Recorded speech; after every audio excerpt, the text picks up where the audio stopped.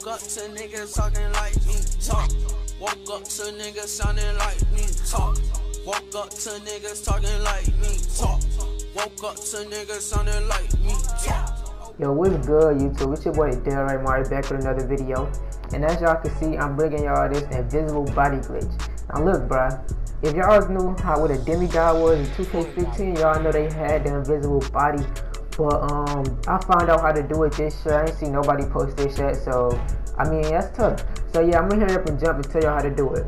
So first off, I think you gotta be a 91 overall. That's the bad part about it. But I mean, most of y'all probably grinding, so this what you do. You gotta take your shirt off. When you take your shirt off, come to swags. And as y'all can see, I'm going to the long sleeve on this shirt. That's you gotta go to accessories to get this when into swags. You get the long sleeve and you just don't buy it, you wear it out the store. So you, you, you buy you click X on it and you click R3 to wear it out the store and you buy it and when you come out the store your character should look just like this bro. Now if I was going too fast, if I didn't explain it right, I'm gonna explain it again. So yes, I said you gotta go to your closet, take your shirt off. You gotta be a 91, I'm pretty sure. So you take your shirt off, and then you head over to Swags. And you go to your accessories, and you gotta buy a long sleeve undershirt. That's what I bought. As y'all can see, I bought a long sleeve undershirt.